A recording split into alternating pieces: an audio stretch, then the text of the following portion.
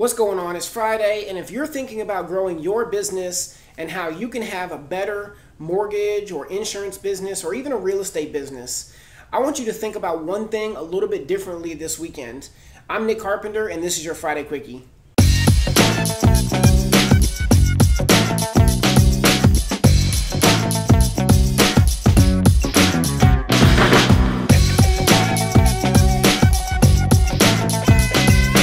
So I'm having conversations almost on a daily basis now with loan officers, real estate agents, and insurance agents that all are looking for how they can go out there and grow their business, generate more leads, close more deals, make more money, do it in fewer hours, have a better life, all those kind of things, right?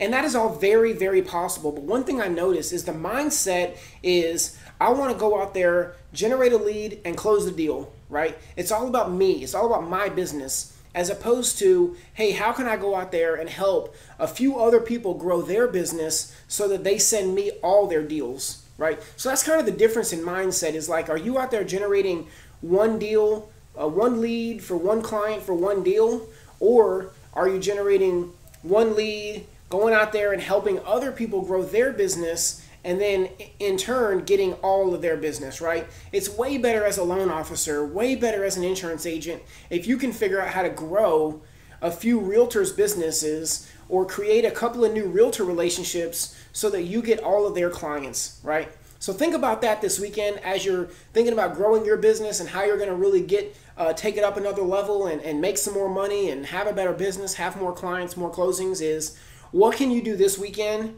to bring value to new referral partners so that you get all their business. I'm Nick Carpenter. Hope you have a great one.